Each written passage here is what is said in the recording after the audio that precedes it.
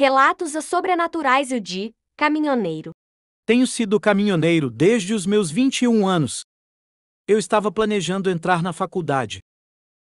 Mas minha família estava com problemas financeiros. Então decidi arranjar um emprego. Meu tio era caminhoneiro e ele me indicou para o trabalho. Para ser honesto, no começo foi bem difícil, tive que fazer um teste. Frequentar aulas, e levou pelo quatro negativos meses para eu me tornar um caminhoneiro.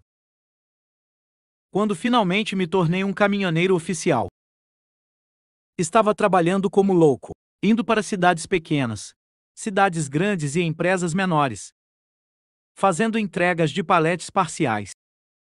À medida que me tornei um motorista mais experiente, recebi a oferta de dirigir até São Paulo. Era uma viagem bem longa, considerando que eu morava em Pernambuco. Mas aceitei a oferta. O cronograma de chegada era de uma semana. Eu tinha que estar lá com os produtos. Até então, tive que me apressar. Preparei tudo e meus colegas me ajudaram com os produtos. Quando tudo estava pronto, parte para São Paulo. Levei cerca de cinco dias para chegar lá. Mas consegui entregar as mercadorias. Enquanto estava prestes a voltar para casa, estava me sentindo bem cansado. Então alguns dos colegas me recomendaram um pequeno motel. Quando cheguei ao motel, a maioria dos quartos estava ocupada exceto o quarto 121. Não me importei. Só estava cansado de dirigir o dia todo. O gerente do local me falou sobre as regras e tal. Tudo que eu lembro é que todos os quartos, com nove eram quartos de manutenção. Peguei minha chave. Fui para o quarto e desmaiei. Acordei mais tarde, por volta das uma da manhã, porque o ar-condicionado estava quebrado. Tentei consertá-lo por conta própria, mas não consegui. Então liguei para a recepção. No entanto, ninguém atendeu. Lembrei do que o gerente tinha me falado sobre os quartos, com nove serem de manutenção. Saí do quarto. Olhei pelo corredor, em direção ao quarto 129, e a luz estava acesa. Pensei que o pessoal de manutenção devia estar trabalhando lá. Chamei Olá. Tem alguém da manutenção que pode me ajudar com o ar-condicionado do meu quarto? Acho que está quebrado. Ninguém respondeu. Então esperei um pouco e uma mulher respondeu de volta. Ela saiu pela metade da porta do quarto e disse: Olá, aqui é o quarto 129. Desculpe, mas estou um pouco ocupada no momento. Estarei aí em breve. Obrigada. Depois ela voltou para dentro do quarto. Eu respondi certo. Obrigado. E voltei para o meu quarto. Mas percebi que esqueci de mencionar meu número de quarto. Então voltei para fora e chamei. Até o quarto 121. Novamente, ela saiu pela metade da porta e repetiu a mesma coisa ao lá. Aqui é o quarto 129. Desculpe. Mas estou um pouco ocupada no momento. Estarei aí em breve. Obrigada. Eu estava confuso pois ela disse exatamente a mesma coisa. Quando eu estava prestes a chamar novamente, ela voltou do mesmo jeito e disse a mesma coisa mais uma vez. Fiquei lá, me perguntando por que ela continuava repetindo a mesma coisa. Esperei alguns segundos a mais e aconteceu de novo. Comecei a ficar assustado. Lembro de ter pensado: que se lasque isso. Peguei todas as minhas coisas e saí do quarto. Fui para o corredor e ela respondeu a mesma coisa de novo. Corri para fora daquele motel o mais rápido que pude. Entrei no meu caminhão e fui embora.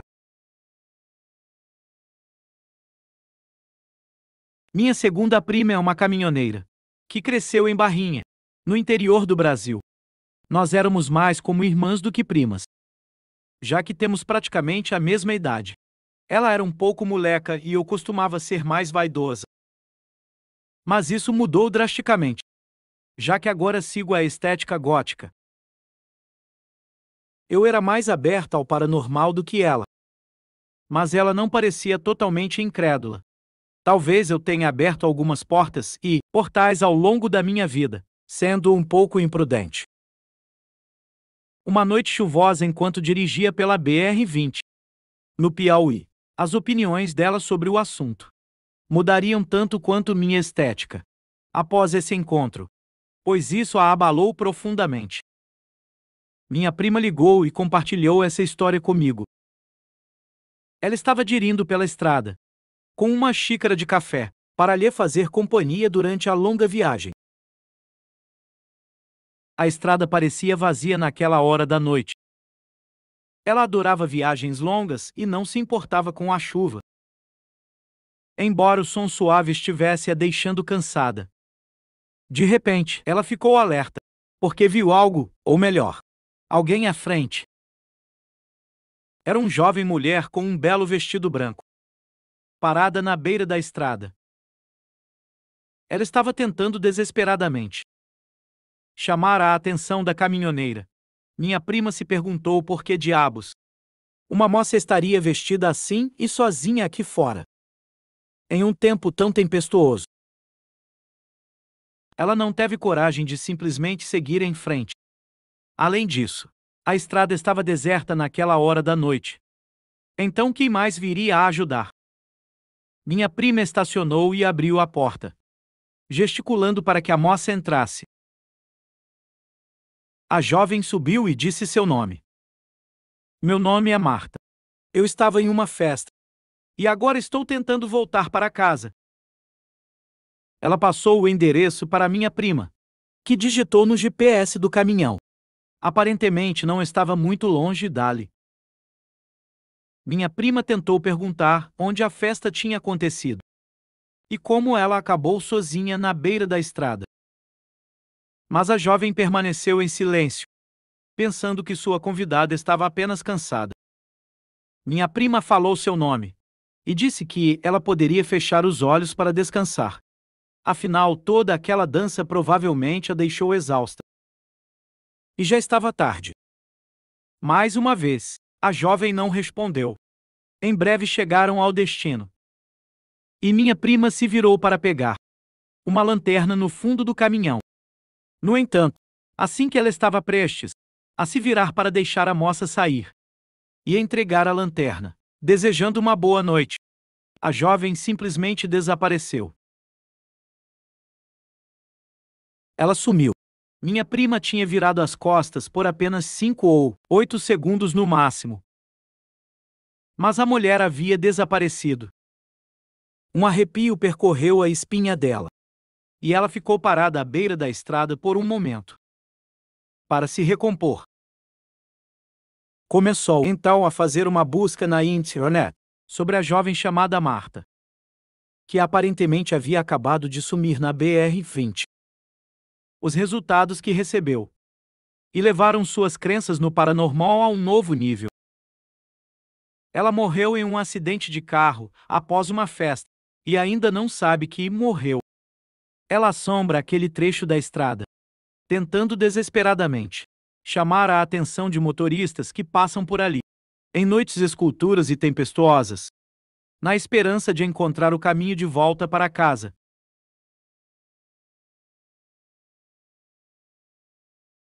Atualmente, estou fazendo transporte rodoviário solo de longa distância. Já faço isso há três anos, mas isso aconteceu um mês depois de ter obtido minha licença de motorista comercial, enquanto trabalhava para pagar minha formação. Muitos dizem que a empresa que estou não é a melhor empresa, mas eles me ajudaram a entrar no ramo.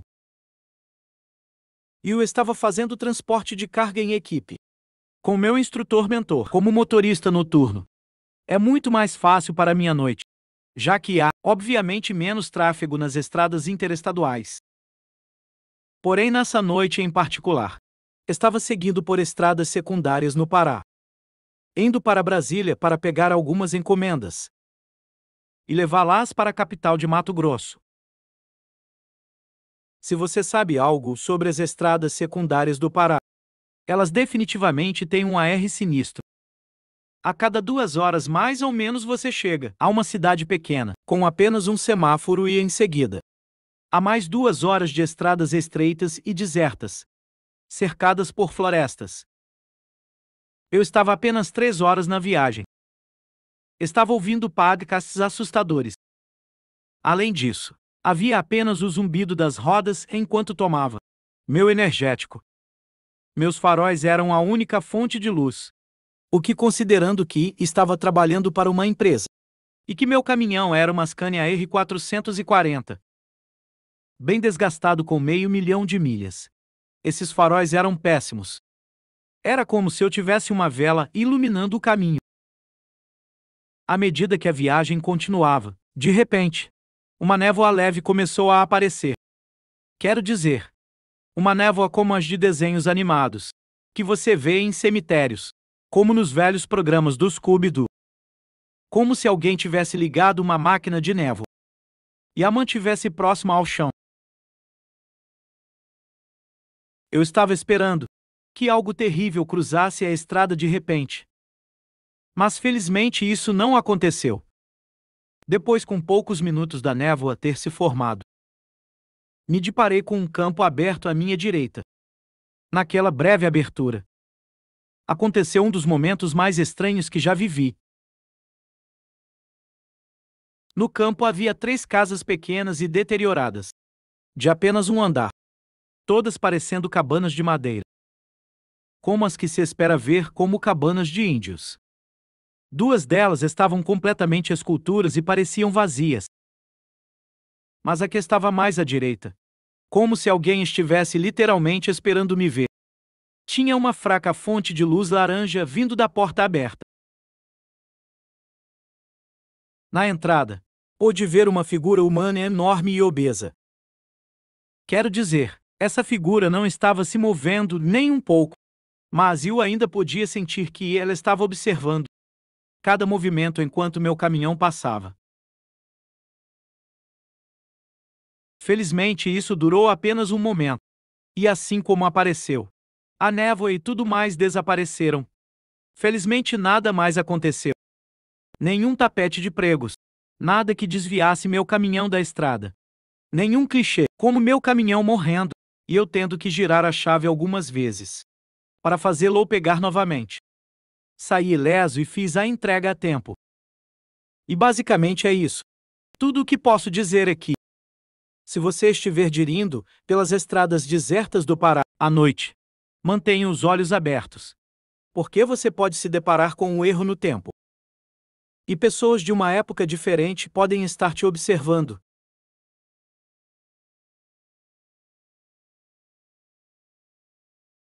Fui caminhoneiro de longa distância por quase 10 anos.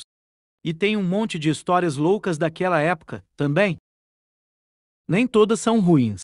Mas acho que é difícil lembrar das boas e além disso. Ninguém pergunta por elas. Sempre querem saber das histórias malucas ou assustadoras.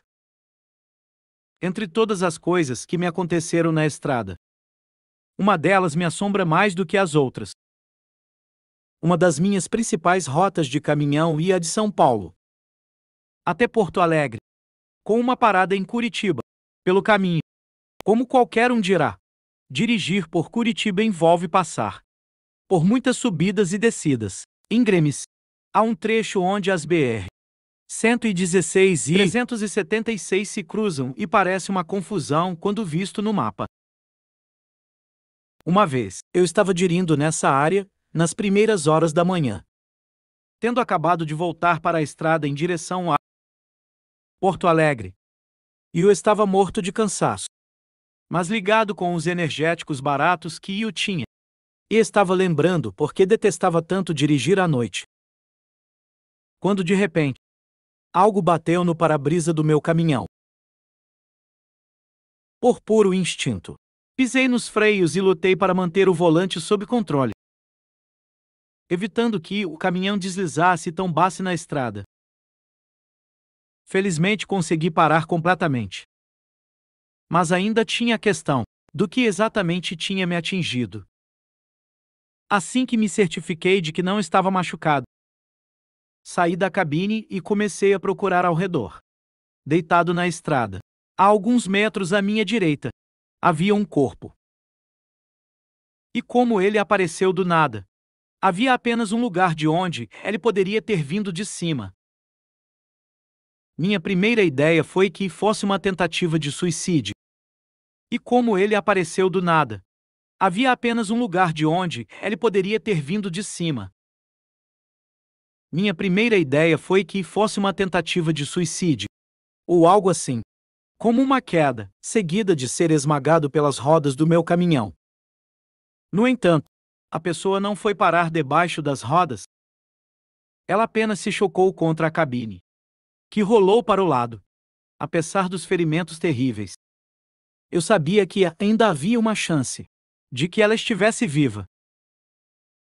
Corri até onde ela estava deitada, tentando ligar para o 190, enquanto tentava obter uma resposta dele. Ela estava em estado grave, mas consegui perceber que era um homem jovem, talvez na faixa dos 20 ou 30 anos. No entanto, ao verificar seus sinais vitais enquanto falava com a central, percebi que o rapaz estava morto. E não havia morrido recentemente.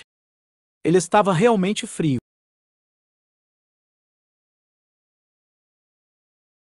Notei que havia plástico filme em volta do corpo dele. Como ele estava deitado de lado, não era óbvio a princípio.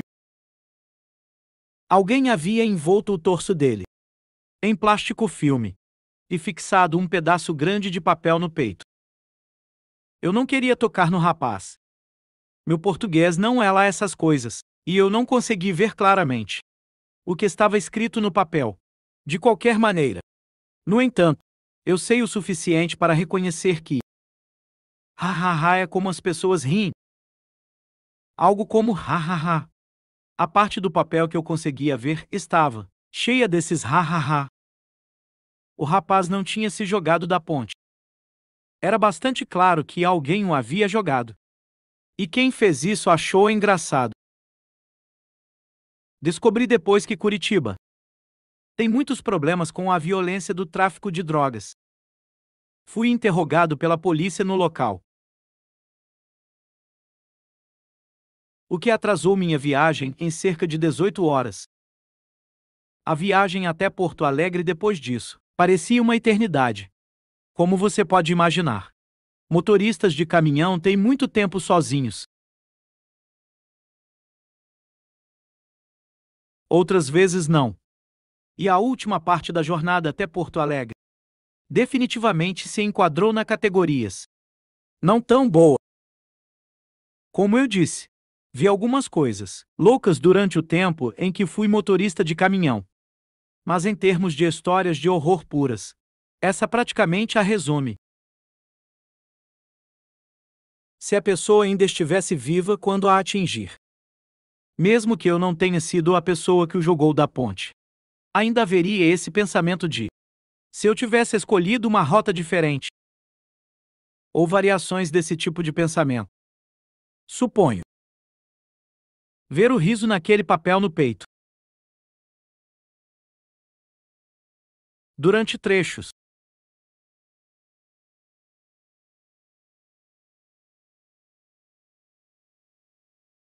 como um homem temente a Deus. Acredito nisso com todo o meu coração. Mal gosto não passa de uma coisa doentia, bem. Esse é um pensamento que realmente me arrepia até o estômago.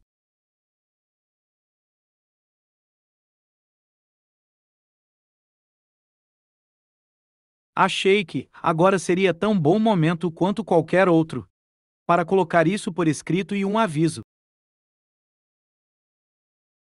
Tenho dirigido caminhões por alguns anos. Ouvindo histórias dos mais antigos sobre como a indústria era durante a era de ouro. Ouvi falar sobre o bom, o ruim e à medida que eu mesmo entrei nesse mundo. As superstições. Todos não importa para quem trabalhe, Já passaram por isso. Testemunhei engavetamentos na neblina.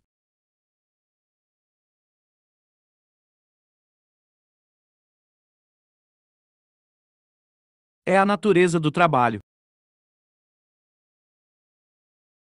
Mais provável é que você se depare com algumas coisas desagradáveis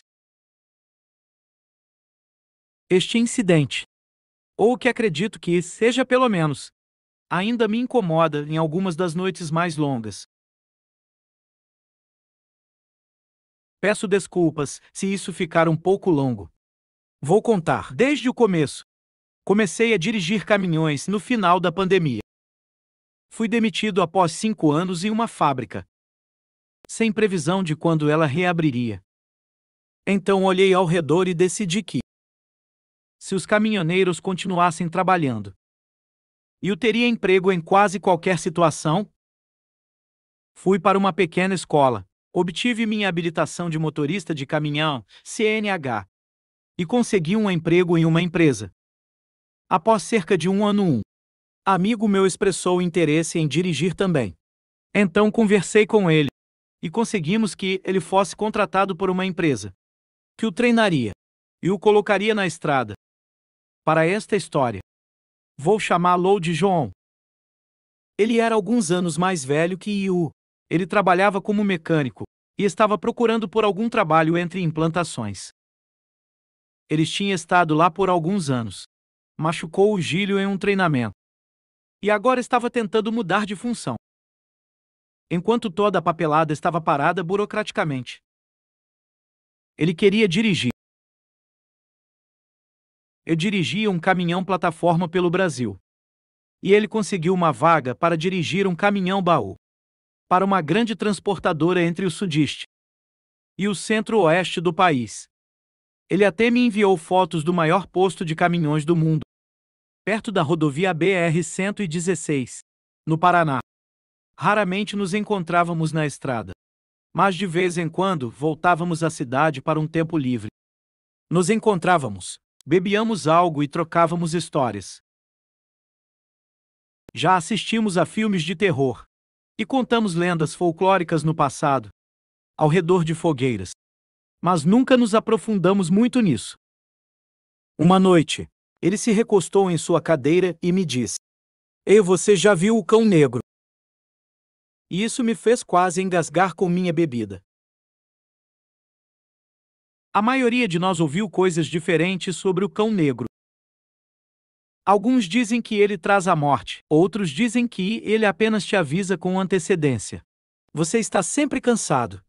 Mas se estiver muito cansado e começar a dirigir sobre as ranhuras da estrada, você pode ver o cão negro. Então eu me inclinei e contei minha história sobre isso. Primeira vez é um aviso. Você está cansado. Sai da estrada e dorme um pouco. Na segunda vez, ele te faz parar. Você experimentará algo que fará você estacionar. Animais na estrada. Problemas mecânicos. Paradas aleatórias da polícia ou do departamento de transporte algo que fará você parar. Se você continuar dirindo, depois disso e voltar para as faixas da estrada. As coisas ficam um pouco confusas. A partir daí, não há como saber ao certo o que acontece. Porque, pelo que me contaram, o seu tempo acabou. Alguns caras sofrem acidentes e não sobrevivem. Alguns são encontrados mortos em suas carretas. Nos dias seguintes, ataque cardíaco, e o pessoalmente vê isso um vez. Era uma noite de neblina na rodovia BR-116. Aconteceu em fevereiro. E eu estava exausto o café. Energéticos. Cigarros. Nada estava funcionando. Tirei os olhos da estrada por meio para mexer no rádio. E quando olhei para cima, vi algo através da névoa. Algo saltou do acostamento para minha faixa. Uma sombra que parou para me encarar. Uma forma canina preta e escura, com olhos amarelados ocos. Eu me endireitei no banco. Com um caminhão plataforma, não dá para frear bruscamente. Senão a carga se joga na cabine. E com caminhões em geral, não dá para fazer muitas manobras bruscas. Senão o veículo pode tombar. Então apenas segurei o volante e me preparei para o impacto. Mas ele não veio. Passei pelo lugar onde a figura estava e continuei dirindo. Parando no acostamento assim que pude. Quando desci, contornei a frente do caminhão para procurar por danos. Mas não havia nada. Nenhuma marca de pelo, Nenhum vestígio de sangue nada. Ela não tinha um arranhão sequer. Fiquei ali de boca aberta por alguns minutos, antes de lembrar das histórias que tinha ouvido. E depois de juntar os pedaços. Bem, eu tinha uma boa ideia do que pensei que tinha encontrado. Então subi de volta na cabine. Saí na próxima saída e peguei um sono tão necessário. Acabei me atrasando para a entrega. Mas ei, ainda estou por aqui. Mudei de posição no assento e dei mais um gole na bebida. Ele deu uma risadinha e respondeu bem. Eu vi isso duas vezes. Agora, acho que levantei uma sobrancelha enquanto ele continuava. Sem na semana passada, estava indo para o leste. Em direção ao Mato Grosso do Sul, e vi aquilo. À beira da estrada e eu estava bem longe do meu destino. Então continuei dirindo. Cerca de dois horas depois, pensei ter visto de novo. Mas acabou sendo um veado que cruzou a pista enquanto eu passava. Acabei batendo na maldita coisa. Parei para verificar e felizmente. Só quebrei algumas peças plásticas. Nesse ponto da história dele, eu estava um pouco nervoso. Mas obviamente ele estava sentado na minha sala de estar. Perguntei a ele. Bem o que aconteceu depois. Ele terminou a corrida e conseguiu fazer a entrega. Descansou um pouco e continuou. Remos um pouco disso, afinal, essa é a indústria. Terminamos nossas bebidas e conversamos até a madrugada, antes de irmos dormir. Uma semana depois, recebi um telefonema de outro amigo. Ele me deu a notícia terrível de que João havia se suicidado. Ele deixou um bilhete, mas nenhum de nós teve acesso aos detalhes específicos. Enquanto o exército fazia sua própria investigação. Também nunca tive notícias disso. Já quase um ano se passou desde então. E serei o primeiro a admitir que tudo pode ser uma série de coincidências, muito ruins mas estou seriamente assustado de ver aquele cão novamente. Para todos que estão lendo ou ouvindo, e para os meus colegas motoristas, dirijam com segurança. Sinto saudades de você e irmão. A primeira vez que fui, com minha prima na carreta dela para uma viagem, foi para visitar meu namorado, na época, não me lembro exatamente em qual trecho da estrada estávamos. Mas sei que era à noite. Numa estrada cercada por florestas. A caminho de Vilhena. Naquela noite, juro que encontramos algo diretamente das histórias assustadoras que eu costumava ouvir com tanta frequência. Não consigo evitar a sensação de que foi minha culpa.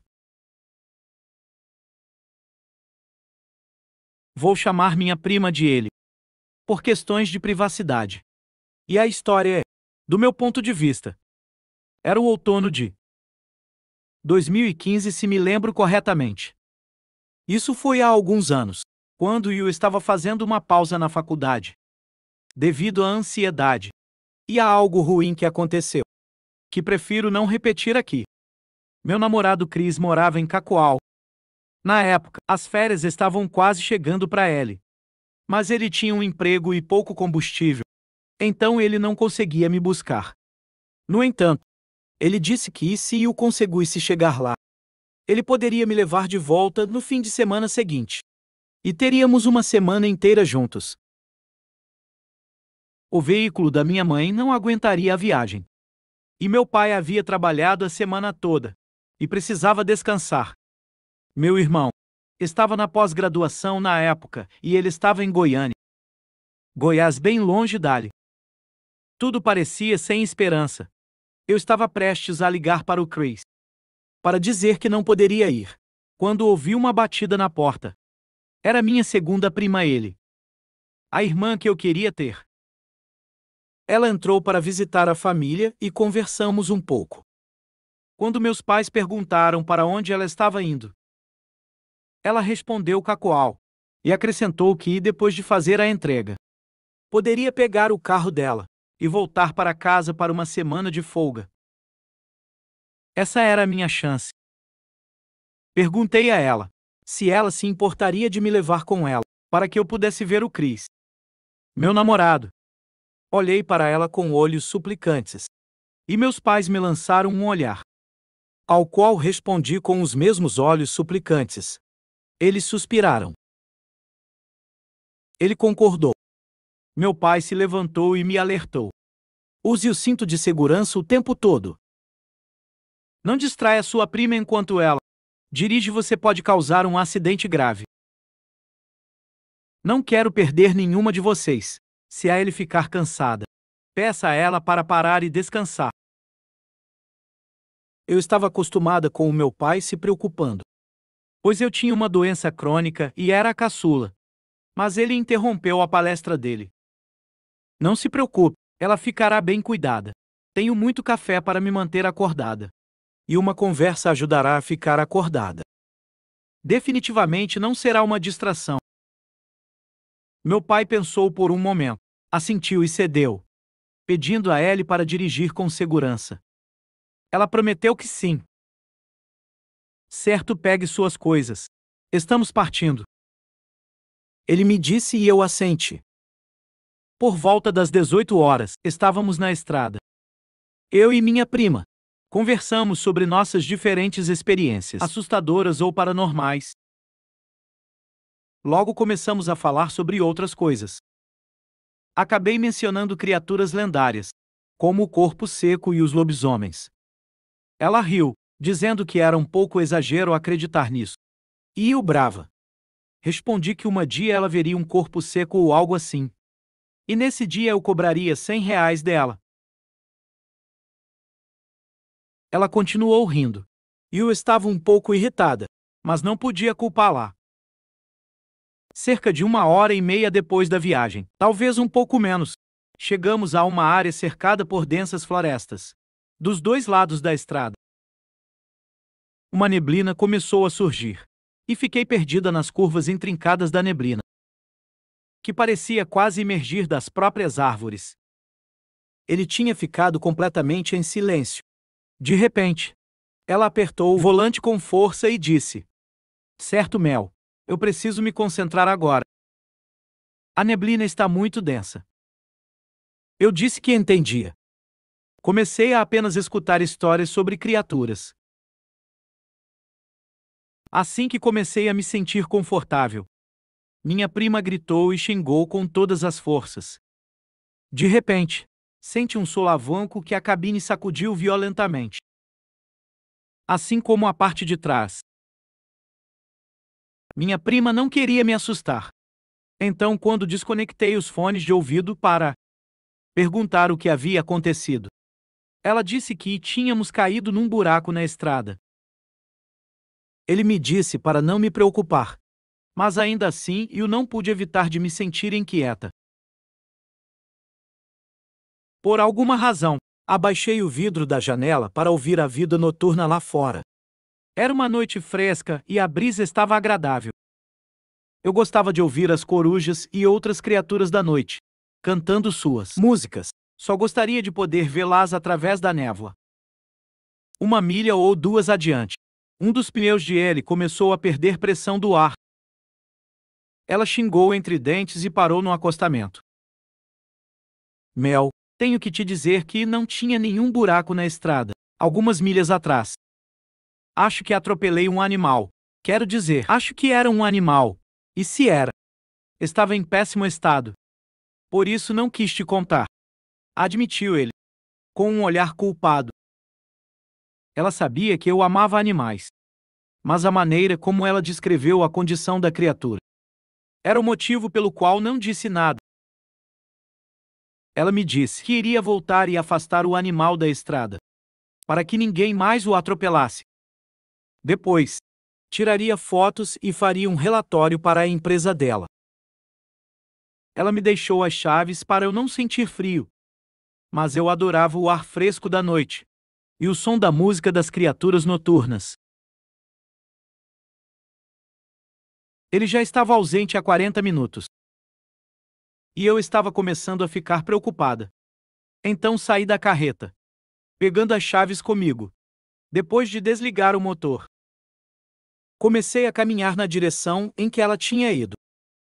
Assim que me afastei bem da carreta, a sonata noturna da natureza ficou silenciosa, tornando a noite de repente tão fria e amarga quanto o inverno. Então houve movimento à minha frente. Ele é você.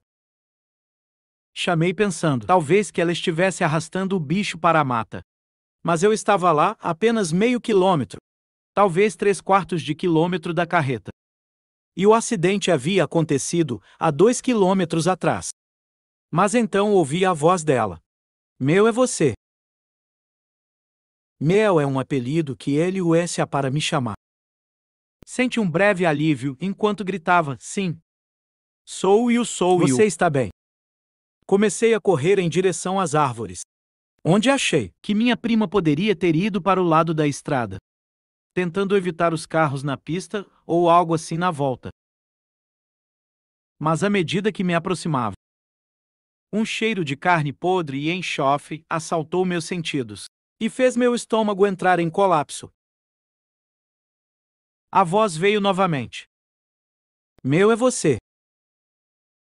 Meu coração afundou até meu estômago quando ouvi a voz um pouco mais perto de mim não soava mais como ele e sim como uma gravação da voz dela. Repetindo o que eu acabara de dizer. Sente arrepios percorrendo minha espinha. O que era alívio se transformou em medo primal em um instante. Especialmente quando ela usou a voz de ele. Com raiva em relação a mim, mas soava mais gutural e malévola. Mel, vem aqui. Agora eu sei que é você.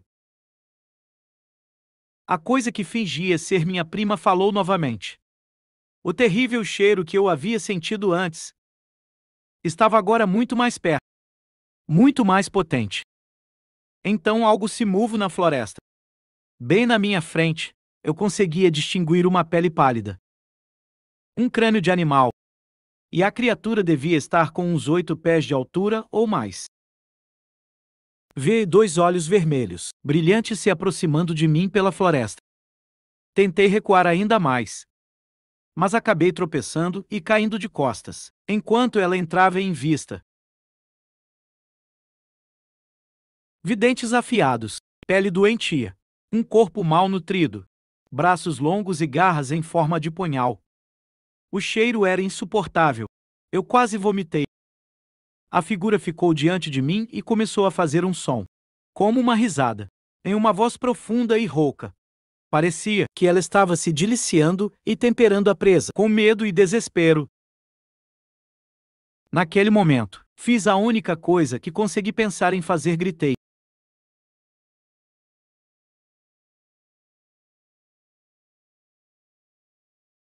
Gritei tão alto que ecoou pela noite. Logo depois houve Outro eco, um disparo. Era ele. A criatura recuou e gritou, ao mesmo tempo. Ele correu na minha direção. Os gritos da criatura ecoaram na noite em vez dos meus. Então ela rosnou e, mancando, voltou para a floresta. Ele me levantou e ambos corremos para a carreta. No entanto, o pneu tinha que ser trocado, enquanto eu segurava a arma e a protegia. Ela trocou o pneu quando terminou. Entramos correndo na carreta sem pensar duas vezes. E aceleramos o resto do caminho para a casa do Chris. Quando meu namorado, Chris perguntou por que eu estava tão atrasada. Bem cassete. Esse homem não era religioso, nem acreditava no paranormal ou no sobrenatural, quanto menos em criaturas assustadoras. Então decidi mentir. Minha prima ele sacou isso e seguiu a história que contei. Disse a ele que atropelamos um animal no caminho. E também pegamos algumas saídas erradas. Mas felizmente, ajustou o GPS e chegamos em segurança. Não acho que Chris realmente acreditou. Mas ele olhou para minha aparência desgrenhada e a aparência semelhante da minha prima e decidiu não investigar mais ele estava apenas feliz em saber que chegamos bem e salvos. Dei um abraço na ele, antes dela sair para entregar a carga e depois. Fui para a casa de Cris. Eu disse para ela ficar segura. E ela me deu um tapinha nas costas. Não se preocupe, sou a coisa mais assustadora por aí. Brincou ele. Ela colocou uma nota de cem reais na minha mão e pescou. Depois se virou gritando um aviso para Cris. Se você quebrar o coração dela, vou quebrar seus ossos. E o Ri Cris realmente riu. Ela acenou de dentro da carreta e nos desejou boa noite. Se ao menos pudesse ter sido uma boa noite.